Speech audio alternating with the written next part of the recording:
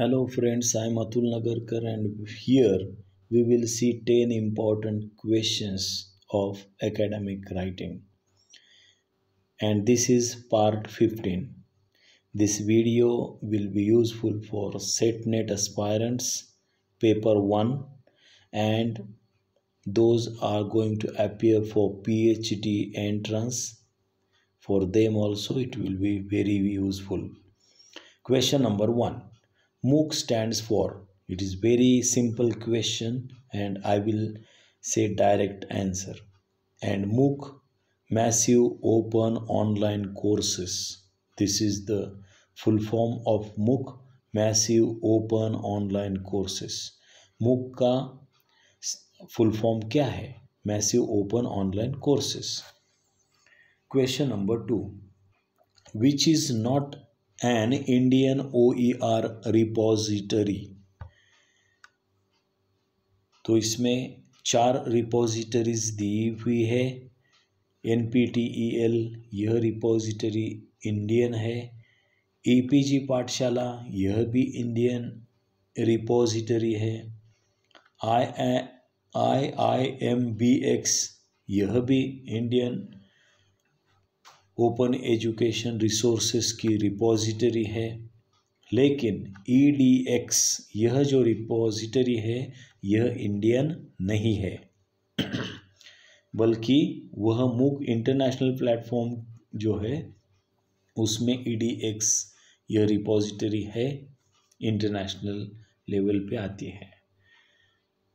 Accepted answer is E D X question number three O E R RS can be found in one and two both Google Scholar and Wikipedia, OER Commons and Slide Share.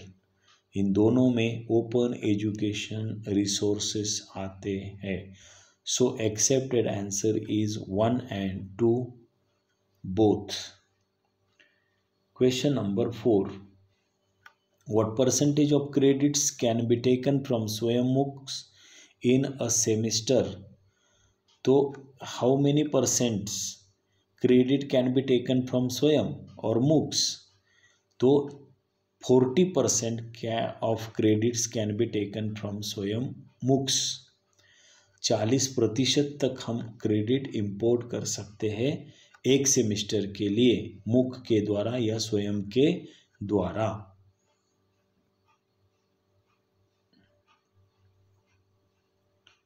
Accepted answer is 40% question number 5 open license can be created through किसके द्वारा open licence को create किया जाता है? Creative common creative common के ज़रिए open licence को create किया जाता है। Question number six Moodle platform model क्या है? लर्निंग मैनेजमेंट सिस्टम है। एल एम एस उसे कहते हैं। If free up to fifty users पचास यूज़र्स के लिए मॉडल प्लेटफॉर्म फ्री में अवेलेबल है। Question number seven you can upload only PPT as O E R S on slide share मतलब स्लाइड शेयर के ज़रिए आप पीपीटी को ओनली मतलब पावर पॉइंट प्रेजेंटेशन को ओनली अपलोड कर सकते हैं एज ओपन एजुकेशन रिसोर्सेस में स्लाइड शेयर के माध्यम से। Question number eight student can upload O E R created by him और her on all of the बॉ YouTube, slide share and Facebook. ये तीनों पे आप अपना ओपन एजुकेशन रिसोर्सेज अपलोड कर सकते हैं। इस वजह से उत्तर है all of the above question number nine which are the conditions of open licence और उत्तर है one and two both one क्या है? Attribution in bracket C C मतलब common creative and share alike S A share alike दूसरा है no modify N D no modify and no commercial N C non commercial तो ये दोनों है। Which are the conditions of open licence open licence में इतने conditions होते जैसे C C and S A जैसे C C N D C C N C ये सारे कंडीशंस होते हैं। So answer is one and two both and this is last question and question number ten some key features of O E R development are as freely available educational content simple and effective engaging all of the about open education resources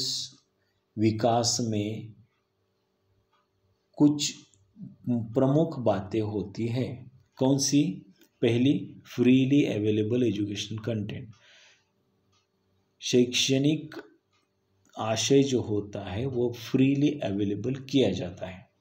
simple and effective बहुत ही आसान और परिणामकारक होता है content engaging आपको content engage रखने में मदद करता है। सो so, यह उपरोक्त तो सभी पर्याय उससे लागू होते हैं। इस वजह से accepted answer is all of the above this video and this is fifteenth part and before I have prepared 14 so 1 to 15 part of academic writing it is very useful for those who are going to appear for net set examinations and this will be very useful for paper 1 so thank you for your sparing valuable time. Thank you very much